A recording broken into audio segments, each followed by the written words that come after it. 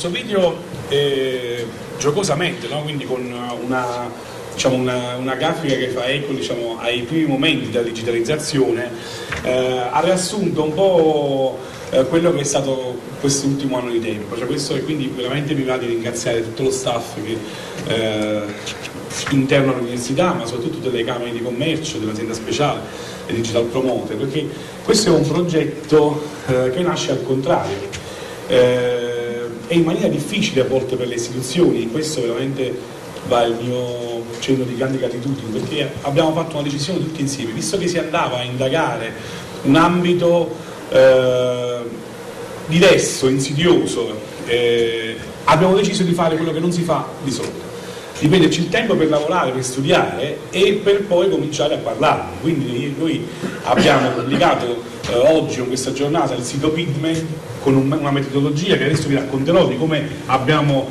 eh, siamo andati avanti, di come intendiamo procedere per il 2019 dopo aver fatto una serie di incontri con le associazioni di categorie, con le aziende sul territorio e in qualche modo oggi ci possiamo dire di aver eh, messo a punto diciamo, un metodo che potete vedere eh, quest'oggi ma anche eh, nel sito e tutte le sue sezioni. Eh, ma torniamo indietro, dove partiamo? Partiamo appunto dal piano nazionale impresa 4.0 che eh, ad oggi offre moltissime possibilità alle imprese del territorio proprio per garantire la possibilità eh, al tessuto socio-economico di fare un salto in avanti nell'adozione di quelle che sono le tecnologie 4.0. L'innovazione è una grande opportunità per le imprese italiane. Oggi, con il Piano Nazionale Industria 4.0, le imprese possono scegliere tra numerose misure per vincere le sfide della rivoluzione digitale. Per un'industria intelligente e innovativa. Per un Made in Italy ancora più competitivo. Per farsi trovare pronti all'appuntamento con il futuro. Piano Nazionale Industria 4.0. Innovare per crescere. E questo è lo spot e fin qui sembrano tutte buone notizie. Tuttavia eh, il primo problema che eh, abbiamo dovuto eh, riscontrare mentre eh, incontravamo quindi, eh, le imprese e cominciavamo questa avventura è stato questo, cioè nel senso è stato il problema di, eh, che molte imprese ci dicevano 4.0 che cioè nel senso che mancava proprio l'idea, cioè noi, noi, operatori diamo per scontato che questo concetto di 4.0 sia immediatamente comprensibile, anzi di più, e più delle volte qualcuno ci ha anche beffeggiato, dicendo vabbè ma mi si è dimenticato il 3.0 nel frattempo, pensando che per 4.0 si indicasse un'evoluzione del web 2.0, non del web partecipativo. E nulla di tutto questo, che 4.0 sta per indicare la quarta rivoluzione industriale, ma non vi farò la lezione su questo, è per dire che dove per prima intendiamo la, la prima eh, diciamo, automazione sul vapore, quindi la nascita delle prime eh, fabbriche diciamo, tessili alimentate a vapore, poi la seconda con l'introduzione dell'elettricità, quindi inizia la catena di montaggio, le linee di produzione di massa, la terza rivoluzione industriale nel fine degli anni 60 avviene con i computer e quindi con i primi sistemi di automazione, quindi attenzione quando parliamo anche di automazione, robotica eccetera, le tecnologie 4.0 non nascono oggi, è il termine che è nuovo e che racchiude una serie di cluster tecnologici. Mi piace raccontare sempre in giro per l'Italia che la prima fabbrica totalmente automatizzata è nata a Melfi nel 1980, quindi anche qui il Sud, come diceva il Presidente, è stata diciamo, un'avanguardia. Ma cosa è cambiato oggi? Cioè perché pur includendo queste tecnologie parliamo di una quarta rivoluzione industriale? È cambiato il fatto che gli individui, e non solo gli individui, sono, eh, sono connessi in maniera eh, sempre più notevole, quindi più del 50% della popolazione mondiale è online, ma soprattutto abbiamo quasi 9 miliardi di dispositivi collegati e questo numero ogni giorno aumenta sempre di più e quindi sono tutte entità che immettono, eh, immettono informazioni, quindi dati, quindi pezzi di realtà all'interno di questo guscio che avvolge eh, il reale, no? che eh, il nostro amico Luciano Floyd ha chiamato infosfera, no? quindi proprio questa eh, dimensione quindi che avvolge il reale con tutte le terminazioni, tutte le informazioni che in maniera a volte eh, consapevole, quindi quando twittiamo su Facebook, su Twitter, scusate, su Facebook, a volte anche inconsapevole, cioè già il nostro essere in questa stanza sta dan- rilasciando dati.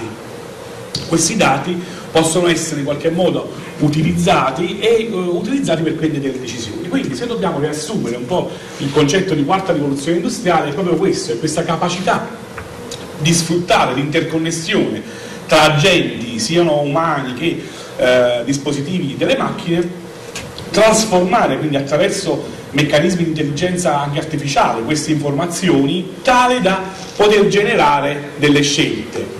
Quindi movimento e impatto fisico, quindi questo 4.0 mette insieme la dimensione immateriale con quella fisica materiale. E quindi si, uno dei concetti, diciamo il concetto eh, di base è un po' quello dell'Internet of Things, diciamo, che ha che ha caratterizzato questo tipo di The efforts for improving the productivity and efficiency have never stopped under the roof of industrial enterprises. This endless race for being better gave chance to three big revolutionary steps initiated by disruptive technologies. First, the steam engine, then electricity, Finally, the computer, all revolutionized the way we work. And now, the Internet of Things ignites a fourth one.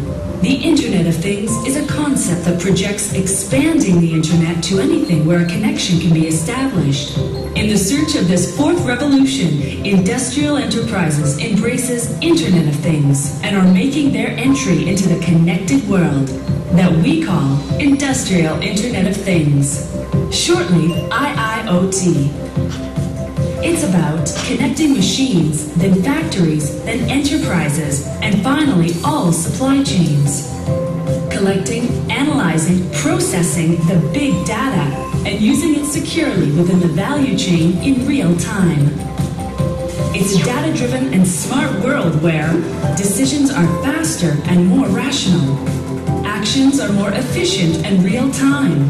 Factories are smarter, with machines talking to the entire world, learning and continuously optimizing each other's performance.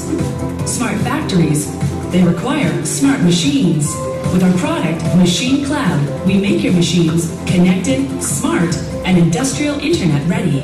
Machine Cloud by i40 enables machine manufacturers to take their place in the IIoT world and be aligned in the big movement for the fourth industrial revolution. Quindi come vedete uno il concetto del, diciamo, dell'impresa 4.0, dell'industria 4.0, dell'industria 4.0 poi tradotto in Italia giustamente con l'impresa 4.0, fa riferimento molto a questa idea di smart factory.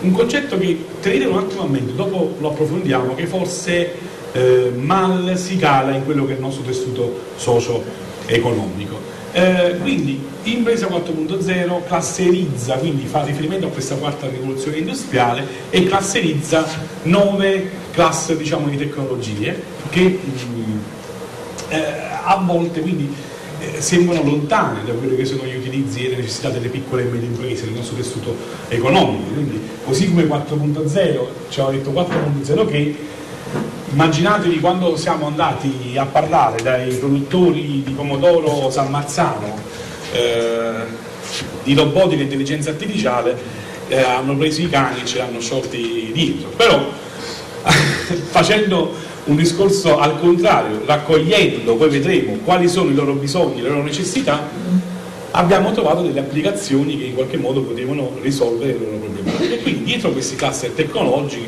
logici si tratta di andare oltre le fascinazioni dei film e della fantascienza. Quindi quando parliamo di robot non parliamo necessariamente soltanto diciamo, di cyborg, ma parliamo anche di quelli che sono definiti a volte cobot, cioè che sono dei sistemi diciamo, di automazione eh, che possono aiutare no? quindi anche eh, le imprese in attività magari particolarmente alienanti. Qui vediamo una delle possibili applicazioni dove c'è un robot che aiuta eh, una piccola impresa per un'attività, eh, l'uomo no? lo aiuta per un'attività particolarmente diciamo, eh, alienante.